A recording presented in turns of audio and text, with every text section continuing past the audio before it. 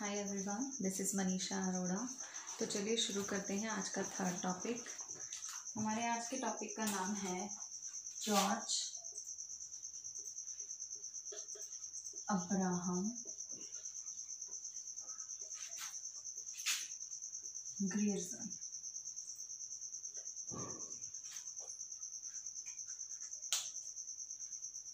इसके बारे में हम पढ़ते हैं।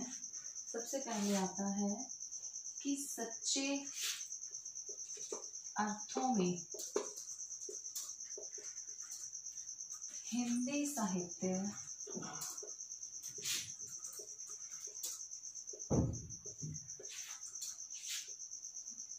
लिखा डॉक्टर जॉर्ज इब्राहिम ग्रेवसन ने।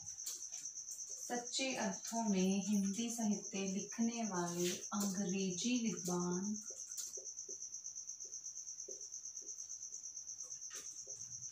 जॉर्ज ग्रेयरसन लेकिन ये जो स्टेटमेंट है कि सच्चे अर्थों में इन्होंने हिंदी साहित्य लिखा, ये किसने कहा?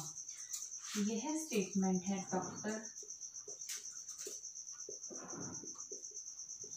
किशोरी लाल गुप्त के अनुसार। डॉक्टर किशोरी लाल गुप्त जी ने कहा कि सच्चे अर्थों में हिंदी साहित्य का इतिहास जॉर्ज इब्राहम ग्रेयरसन ने लिखा, जो कि एक अंग्रेज़ी विद्वान थे। डॉक्टर किशोरी लाल गुप्त ने इन्हीं की पुस्तक का अनुवाद किया, जिसका नाम है हिंदी साहित्य का प्रथम इतिहास। आपको पेपर में ये क्वेश्चन आ सकता है कि हिंदी साहित्य का प्रथम इतिहास किसने लिखा? डॉक्टर किशोरीलाल गुप्त ने। डॉक्टर किशोरीलाल गुप्त के अनुसार सच्चे अर्थों में हिंदी साहित्य किसने लिखा? जॉर्ज इब्राहिम ग्रेवसन ने। यह अनुवाद नवंबर 1957 में लिखा गया। यह है हिंदी प्रचारक पुस्तकालय। हिंदी प्रचारक पुस्तकालय। यह वाराणसी में है। इनके द्वारा यह प्रकाशित हुआ। ये है डॉक्टर ये जी, इसके, इनके अनुवाद की बात चल रही है, डॉक्टर किशोरनाथ गुप्त जी का जो अनुवाद था, हिंदी साहित्य का प्रथम इतिहास, वो नवंबर 1957 ईस्वी में प्रकाशित हुआ। कहाँ से हिंदी प्रचारक पुस्तकालय वाराणसी से?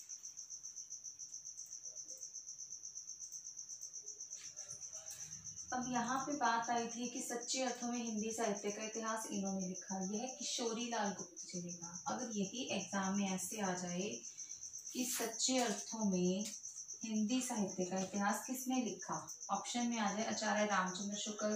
दो तीन ऑप्शन और आ जाए तो एक्चुअल में सही आएगा आचार्य रामचंद्र शुक्ल। क्योंकि ये सिर्फ़ इनके अनुसार था कि डॉक्टर किशोरीलाल गुप्त जी ने कहा कि सच्चे अर्थों में जॉर्ज अब्राहम ग्रेयर्सन ने लिखा। लेकिन सही मायने में यह जो हिंदी साहित्य का इतिहास था, यह आचार्य रामचंद्र शुक्ल जी द्वारा लिखा गया।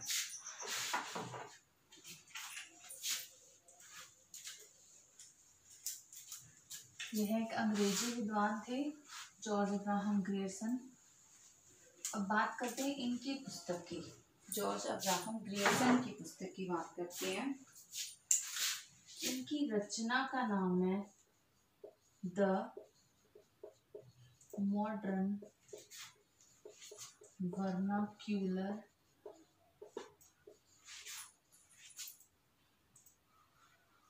literature of northern Hindustan. ये इनकी रचना का नाम है, the modern vernacular literature of northern Hindustan. अब यह रचना कब प्रकाशित हुई, कहाँ से प्रकाशित हुई? यह रचना the royal Asiatic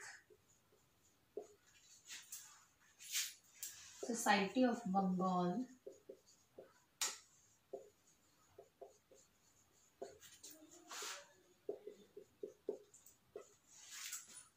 George Abraham Grierson की रचना the modern vernacular literature of northern Hindustan यहाँ से प्रकाशित हुई। The royal Asiatic society of Bengal इनकी एक पत्रिका थी। उस पत्रिका के एक विशेषांक के रूप में।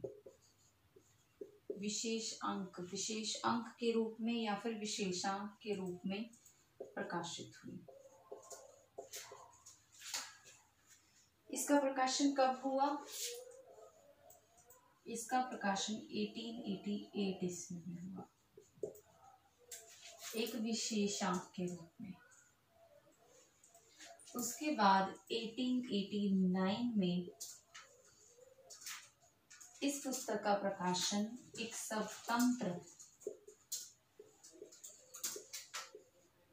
इतिहास पुस्तक के रूप में हुआ आपको पेपर में ये क्वेश्चन आ सकते हैं कि 1889 में कैसे हुआ या इस रचना का विशेषांक के रूप में किस सोसाइटी द्वारा प्रकाशन हुआ या इस सोसाइटी द्वारा प्रकाशन विशेषांक के रूप में किस रचना का हुआ इस तरह से आपको क्वेश्चन आ सकते हैं। इसके बाद बात करते हैं इस रचना की विशेषताएँ।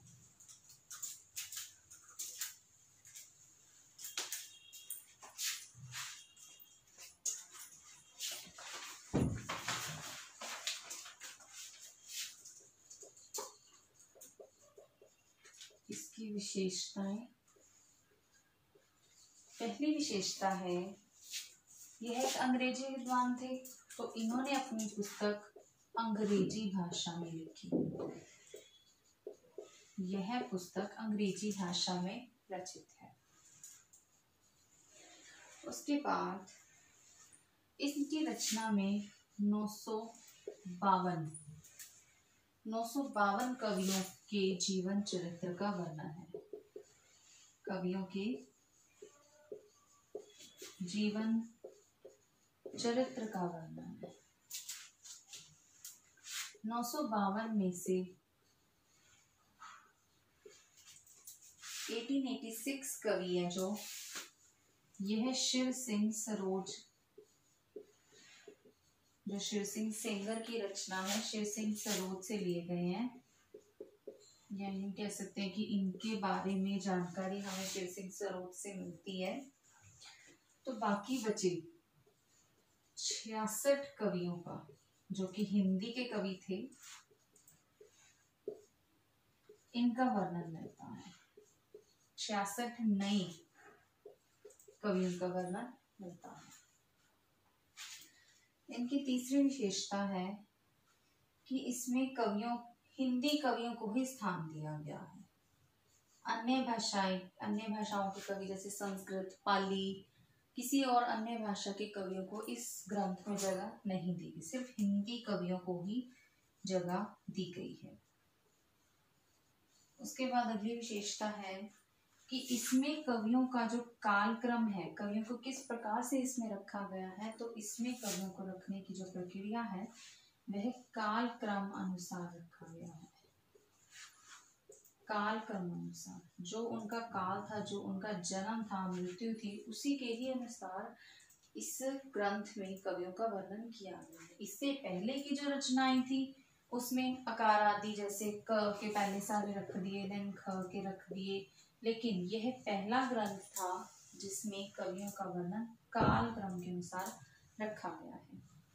थैंक यू तो ये तो ये था आज का हमारा third topic George Abraham Grierson I hope you like it अगर आपको हमारी वीडियो पसंद आए तो प्लीज़ सब्सक्राइब करें लाइक करें शेयर करें. Thank you